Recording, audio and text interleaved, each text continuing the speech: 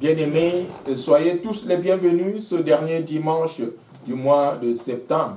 Beloved, you're all welcome to this last Sunday of the month of September. Notre Dieu est fidèle. Amen. Our God is faithful. Il, avait, il a été avec nous depuis le premier dimanche jusqu'au dernier dimanche. He has been with us since the first Sunday till this last Sunday. Et nous lui sommes entièrement reconnaissants.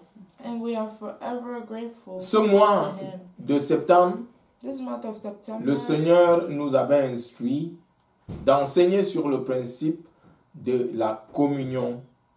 the Lord had instructed us to teach on the principle of uh, fellowship. Et nous savons que la communion est importante pour euh, la relation fraternelle. And we know fellowship is important for uh, relations. Et la communion est importante pour la relation avec notre Dieu. And f- fellowship is important for uh, our relationship with our Nous God. voudrions nous souhaiter la bienvenue ce matin avec euh, ce texte dans l'épître aux Hébreux au chapitre euh, 10 et le verset 25 que nous connaissons tous. And um, today the welcome charge will be based off on Hebrews chapter 10, verse 5, 25.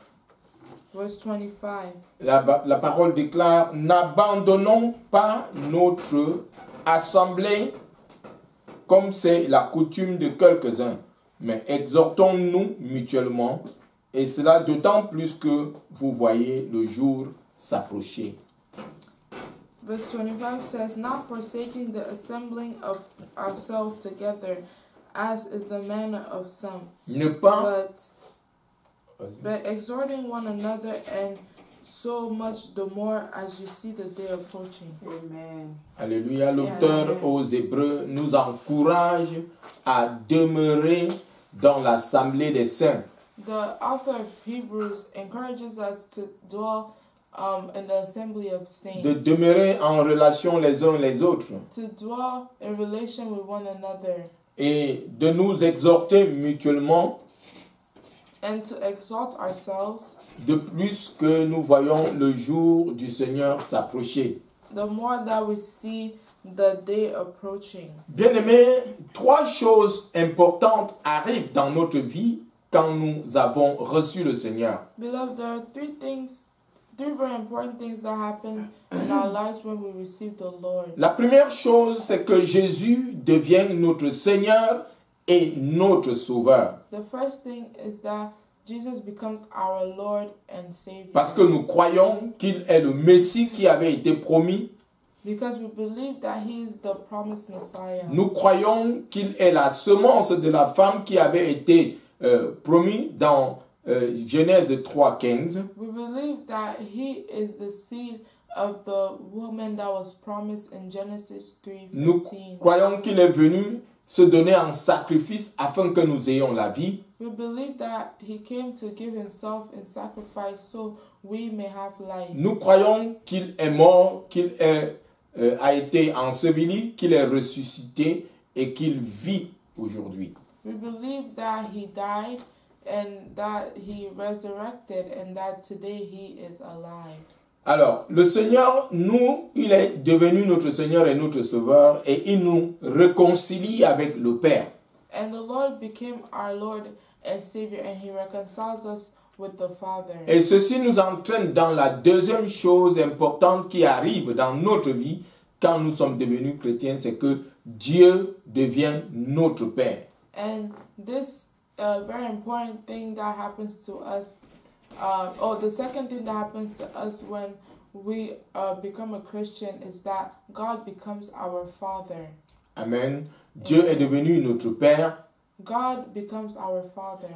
et nous prions à lui, nous regardons à lui, nous espérons en lui en toutes choses. and we pray and uh, um, have our hope set on him and expect him to to provide for for us Et la troisième chose, la plus importante encore qui arrive dans notre vie, c'est que l'Église de Christ devienne notre famille. And the third important thing that happens is that the Church of Christ becomes our family. Et c'est dans ce contexte donc, en tant que frères et sœurs, nous sommes appelés à communier ensemble. And it's in this context that, as uh, brothers and sisters, we are called to co- communion, um, to get to fel- fellowship together, à nous encourager, to encourage à nous ourselves, exhorter, to exalt à ourselves, nous fortifier, to fortify, à demeurer ensemble, to dwell together, à méditer ensemble, to meditate, prier ensemble, pray together, étudier la parole de Dieu ensemble, study the Word of God together, exercer l'hospitalité, exercer l'amour.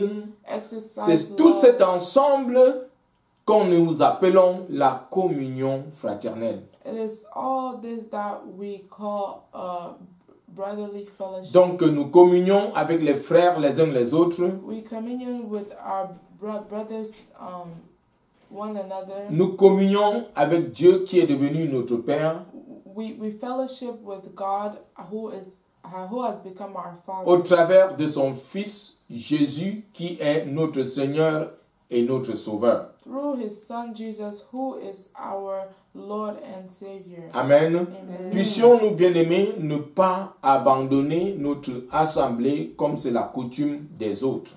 And um, let us not uh, forsake the assembly of the saints, as it is the manner of some. Cette assemblée, c'est-à-dire l'Église de Christ. This assembly, which means the Church of Christ. Amen. Amen. Soyons encouragés Let us be encouraged comme nous attendons le jour où le Seigneur reviendra pour nous chercher afin que nous demeurions avec lui éternellement. as we wait for the day that the Lord will come and uh, uh, and take us. Amen. Amen. Soyez bénis.